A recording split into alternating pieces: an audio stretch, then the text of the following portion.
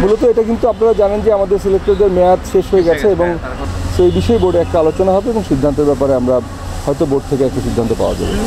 আপনারা জানেন যে এই নিয়োগ প্রক্রিয়াকে একটা কমিটিকে দায়িত্ব দেওয়া হয়েছে এবং সেই কমিটি ইতিমধ্যে কয়েকটা কি পজিশনে ন্যাশনাল টিম ম্যানেজমেন্টের ইন্টারভিউ করেছে এবং প্রসেসটা এখনও শেষ হয়নি চলছে এখনও সো এই প্রসেসটা কমপ্লিট হতে হয়তো আমরা will be able to complete it by the next two three days time আমরা চেষ্টা করব এভাবে টার্গেট করা হয়েছে। এবং এখন পর্যন্ত যেগুলো সম্পন্ন হয়েছে, আমাদের চেষ্টা থাকবে বোর্ড থেকে সেটাকে অনুমোদন করে নেওয়া। এই মুহূর্তে আমরা যে কাজ করছি যে ইন্টারভিউ প্রসেসটা চলছে ইন্টারভিউ প্রসেসটা শেষ হলে হয়তো আমরা বলে দিতে পারব যে এটা আমরা কখন অ্যানাউন্স করতে পারব। তবে আমরা যেটা বলেছি, আমাদের টার্গেট থাকবে যে এই শ্রীলঙ্কা ট্যুরের আগে এই বিষয়গুলোকে ক্লিয়ার করা। আসলে এই অ্যাপয়েন্টমেন্টের ব্যাপারটা আমার মনে হয় যে যারা এই কমিটিতে আছে, তাদের দিক থেকে বলাটা ভালো। যদিও আমি একজন মেম্বার বাট তারপরেও আমাদের কনভেনার আছে, তার কাছ থেকে শোনাটাই ভালো হবে। আমাদের আগামীকাল যে মিটিংটা হবে, আগামীকাল বিকেল চারটায় শুরু হবে, আমরা আশা করছি।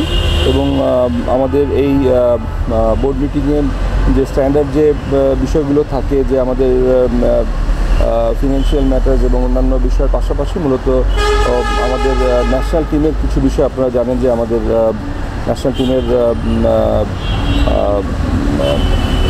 যে সিলেকশন প্যানেল নিয়ে আলোচনা হবে যেটা এজেন্ডাতে আছে।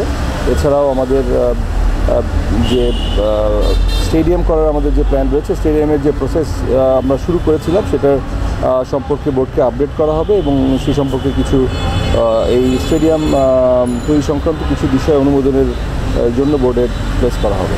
এটা আমাদের এজেন্ডাতে রাখা আছে, তো বোর্ডে যখন আলোচনা হবে তারপরে যদি কিছু ডিসকাস করার মতো থাকে আপনারা জানতে পারবেন।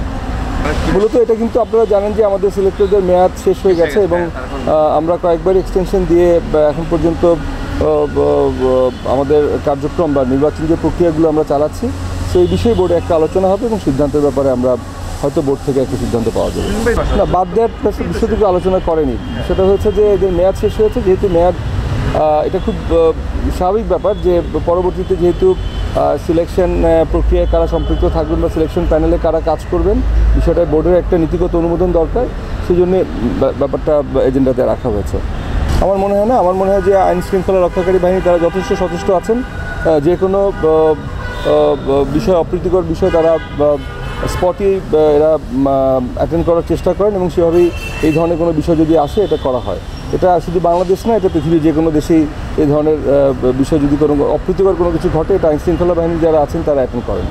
সেটাও আইন শৃঙ্খলা বাহিনী দেখবেন, তারা আসলে আদৌ আদৌ কতটুকু আমাদের সাথে সম্পৃক্ত বা কতটুকু তারা ইনভলভ উইথ দ্য অ্যারেঞ্জমেন্টস এটা আপনারাও ভালো করে জানেন যে এখানে প্রচুর ভলান্টিয়ার কাজ করে এবং আমাদের চেষ্টা থাকে যে সবাইকে রেটিং করে আমাদের সাথে সম্পৃক্ত করা। তারপর যদি কোনো কিছু হয়ে থাকে, সেটা আইন শৃঙ্খলা বাহিনী যারা এই বিষয়গুলোকে দেখেন, তারা দেখবেন। এটা এজেন্ডা অন্তর্ভুক্ত রয়েছে আমাদের, যেহেতু আমি আবারও বলছি, এই অধিনায়ক বলেন বা সহ অধিনায়ক বলেন বা আমাদের সিলেকশন প্যানেল বলেন, তাদের একটা নির্ধারিত মেয়াদের জন্য তাদের অ্যাপয়েন্টমেন্টগুলো হয় এবং সেটা উত্তীর্ণ হলে এটা বোর্ডের একটা অনুমোদন প্রয়োজন হয়। সেক্ষেত্রে যে এক্সিস্টিং যারা আছেন, তারা যদি কন্টিনিউ করেন, সেক্ষেত্রেও বোর্ডের অনুমোদন প্রয়োজন হয়। অথবা যদি সেক্ষেত্রে কোনো রিপ্লেসমেন্ট হয়, সেটাও বোর্ডের অনুমোদনের প্রয়োজন হয়। তো সেভাবেই এগুলো আমাদের এজেন্ডার মধ্যে আছে।